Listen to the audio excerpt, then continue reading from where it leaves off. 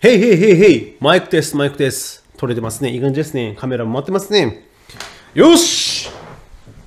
喋るぞー 喋るぞーいくぞ よし、行くぜ。皆さん、こんにちは。滝沢勝成でございます。2021年1月1日夜8時6分でございます。えー、滝沢勝成チャンネルをご覧の皆様、明けましておめでとうございます。気がつけば1年があっという間に終わりまして、2020年が終了しまして、2021年幕開けでございますよ。皆様、いかがお過ごしでしょうか？元気しておりますでしょうか？今年も1年滝沢勝成チャンネルをぜひともよろしくお願いいたします。っていう、毎年恒例の新年の挨拶動画でございます。いつも通りね、えー単なる雑談でございまして、あんまりこう役に役に立つような話は出てこないんですけれども、まあお時間がある時に掃除しながら、家事しながら、なんか仕事しながら、運転しながら、のほほんと楽しんでいただければ幸いでございます。とりあえずなんかこうね、何から話せばいいかなって感じですよね。何から話そうかな。なんかもう去年はいろんなことがありすぎて、もう何から言えばいいだろうっていうぐらいもう盛りだくさんなんですけども、まあ振り返ると、2020年の書き初め、スローガン、目標として、捨てるっていうのがありました。捨てる。えー2010年の書き初め、捨てる。まあ今までね、いろんなこう蓄積があって、その行動とか習慣とかがあって、まあいろいろとこうね、頑張ってるわけなんですけれども、新しいチャレンジをするために、やっぱりこう、時間の確保をしなければいけないわけでして、で、時間っていうのはね、そのね、みんな平等だからさ、1日24時間しかないのはみんな、もうね、同じじゃないですか。だからそれをね、有効活用するためには、やっぱりこの習慣を捨てなきゃダメだなと思って、捨てるっていう書き初めをしました。で、そのね、時間とか習慣とかを捨てて、新しいチャレンジをするきっかけみたいなのね、その得られればなとかって思って捨てるって書いたんですけれども、まあ皆様一緒だと思うんですけども、去年はもう本当にもう 捨てるというよりも、えー捨てざるを得ない。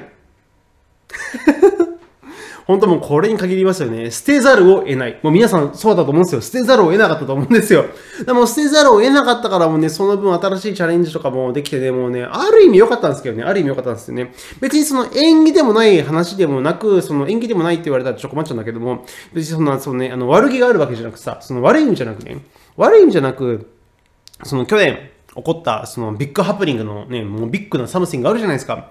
それは、まあ、ある意味食らったっちゃ食らったけれども、新しいチャレンジとかさ、新しい習慣を手にするためのきっかけだったって思うと、割となんかね、悪くなかったんじゃねえかなって思うんですよ。もちろんそのね、重症化しちゃってさ、そのね、あの、ちょっとこの健康うんたらかんたらみたいな感じで、その問題があってしまった方はね、あの、たくさんいらっしゃるからね、その方に対してそんなことを言うつもりはないけれども、まあ自分みたいなそのね、一個人のベースで見ると、なんか割とね、いいきっかけみたいなね、たくさんいただいたような、えー気がします。本当にこう、語弊なく言うと、神様が、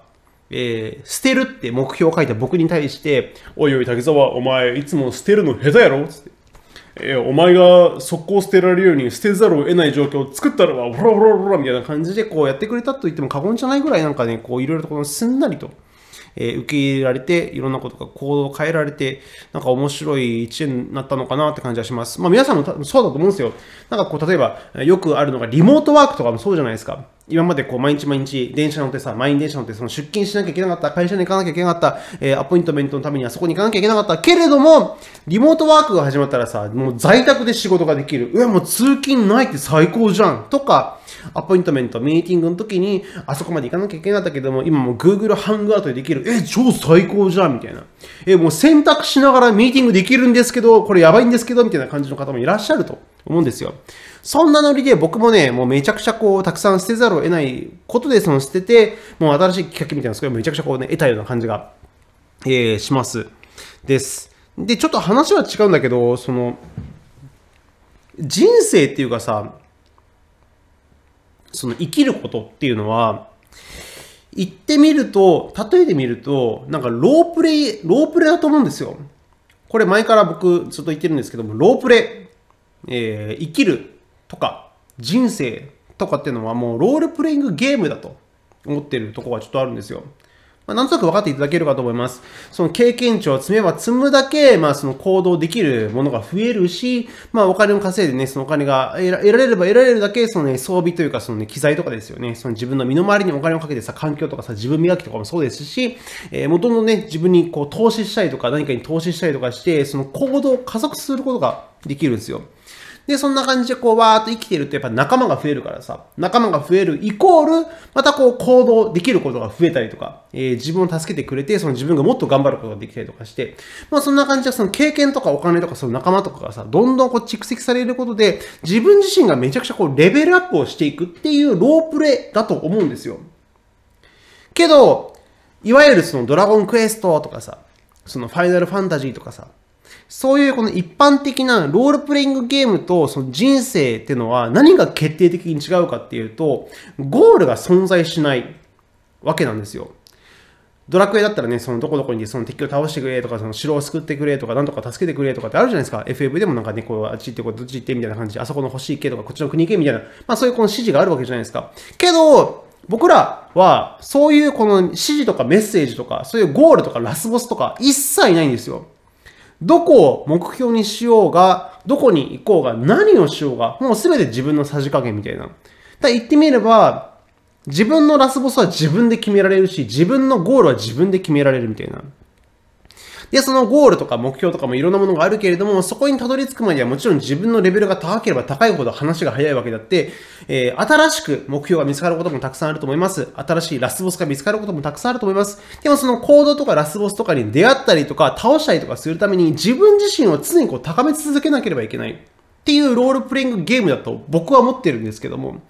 なんかわかりません？そう考えれば結構そのロールプレイと全く一緒だと思うんですよ。で、その中でこういろいろこうね、あの、うわーっとこう思うことがあったりとかして、まあ皆さんに分かりやすいところでいくとすると、そうですね。歌いストとかもまあそうなんですけども、まあその習慣を捨てざるを得なかったってことで、まあそのね、あのお店の営業とかさ、そのライブとかさ、イベントとかさ、ライブズキッチンとかいろいろ使ってもらったけどさ、そういうのも全部捨ててさ、で、歌いストっていうユニットがあって、まあそういったこうあの活動とかもしてたけれども、ある時においては、まあ、歌いストっていうそのユニットはその僕の中のゴールだった時もあるんですよ。2016年。まあ、考えてみたらもう5年前の話か。なんかそう考えると結構前だな。5年前にその歌いストっていうユニットを組みました。で、活動し始めました。えー、演奏し始めました。ライブをし始めました。その時に、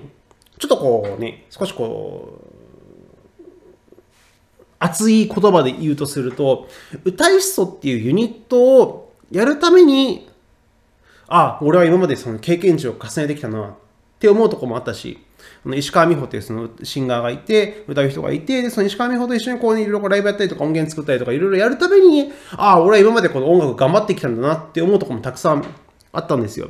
今までそのギターを弾いたりとか動画を作ったりとかさ、音源を作ったりとか、こういうレコーディングをしたりとか、ミックスをしたりとか、こういうオーディオインターフェースみたいな、こういう機材とか揃えたりとか、まあいろいろしてきたけれども、こういうのを全部揃えた時点で、もうね、自分の中に用意がある時点で、石川美穂と出会って歌いそうがあったことによって、新しいものが生み出せたわけなんですよ。これがね、もっとさ、僕がもっと雑魚な時期、まあ今でも雑魚だけどさ、もっと雑魚な時期にさ、何も持ってないし、何も経験がないし、何も知識がないし、何もソフトとかパソコンとか、何もない時期に歌いストって始まりましたっつってでも全然成し遂げられなかったと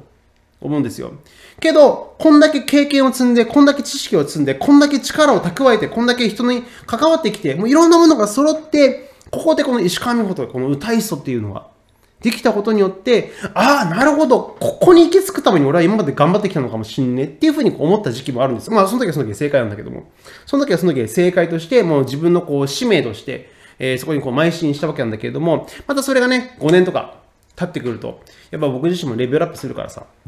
このまたいろいろこの違う景色みたいなのが見えてくる、見えてくるわけですよ。その自分のゴールとしては歌いストってものが一つとしてあったけれども、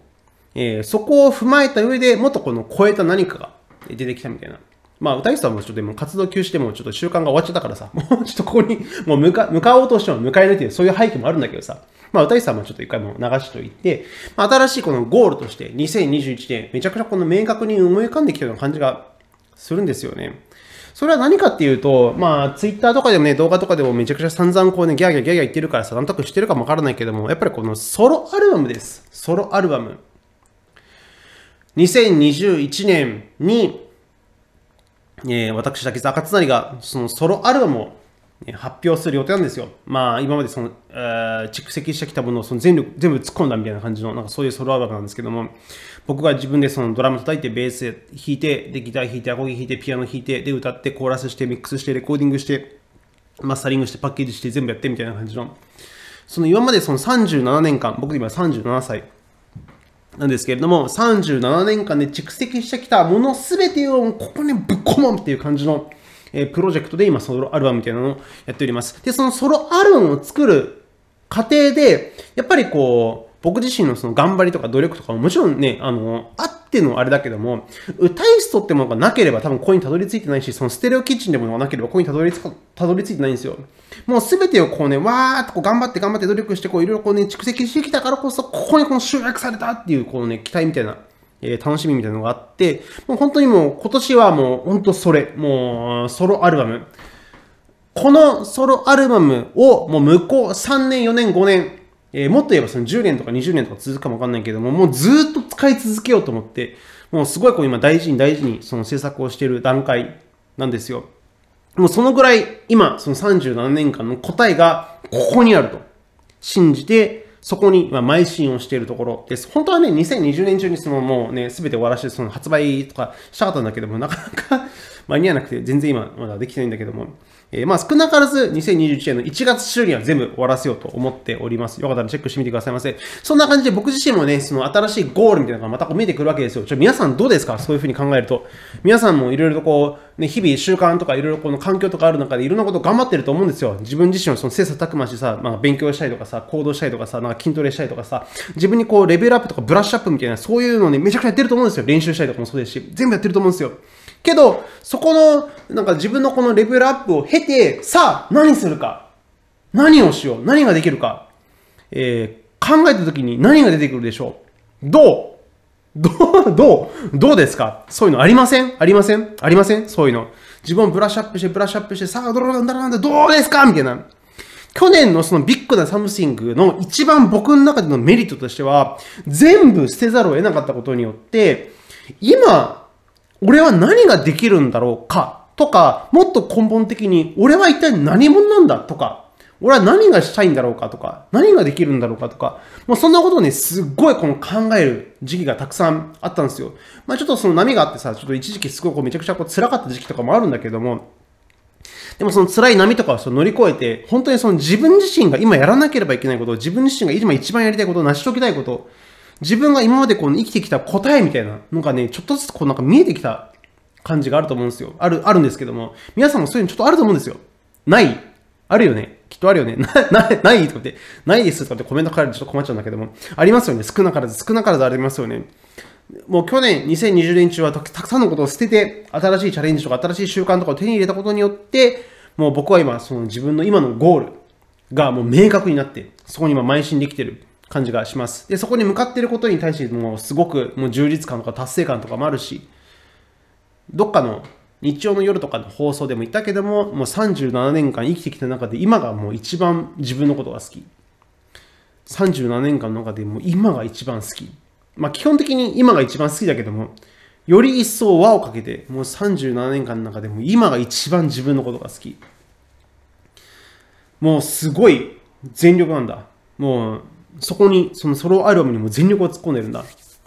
ちょっと話は違うけどさ、その YouTube 活動とかさ、してるとさ、結構その誹謗中傷みたいなのってあるんですよ。なんか下手くそとか、ダサいとかさ、かっこ悪いとかさ、なんか誰々さんのがすごいとかさ、なんかそんな、いっぱいあるんだ。けど、その時にさ、その、やっぱコメントされるとさ、傷つくというか、やっぱこう、へこむというか、やっぱこう心にぐさっとくるもんなんですよ。まあ、それは誰でもそうじゃないですか。けどね、あのー、最近気づいたことがあって、あのね、今そのソロアルバムに向かってその僕の今100%出し切ってもう全力を尽くしてます。で、そのソロアルバムに対してその、えー、なんかこの誹謗中傷じゃないけど、その文句言われたとしてもね、僕はね、多分ね、何も思わないと思うんですよ。なんでかっていうと、もう何も悔いがないから、もうこれで何か言われたとしても、僕はもうこれ以上のこと何もできないし、もうこれでダメだったらもうね、あ、すいませんでした、としか言えない。けど今まではその動画とかさ、その演奏とかライブとかもそうだけども、何か言われて、うわ、悔しいって思うのは、多分僕自身ももうちょっとできたんじゃねえかなって思ってるからだと思うんですよ。もっとこう、うまく演奏できたりとか、もっとうまく作りたいとかね、もっとうまくできたんじゃねえかなっていうふうに僕自身も思ってるから、なんか下手とか言われたりね、あのね、あのダサいとか言われた時に、うー、やっぱりとかっていうふうにこう、図星ですみたいな感じで傷ついてたんじゃねえかなって感じがするんですよ。本気で、全力で、限界まで追い詰めて自分の100%を出して、なんかこう、うわーってやると、もうそこに関してはもうね、もう、すべて受け入れるしかないからもう何言われても大丈夫なんだなっていう風な、えー、ことが一番の発見です。これ本当最近気づいたことなんだけども、もうこれで何言われてもね、もうどうしようもない。だって僕にできることはもうこれしかないから、もうここに悔いはないし、もうこれ以上のことを望まれても僕できないから、もうしょうがない。もうしょうがない。しょうがない。全然もう悔しいとかムカつくとか何もなく、もうしょうがない。もう、それはそれ、これはこれみたいな感じで。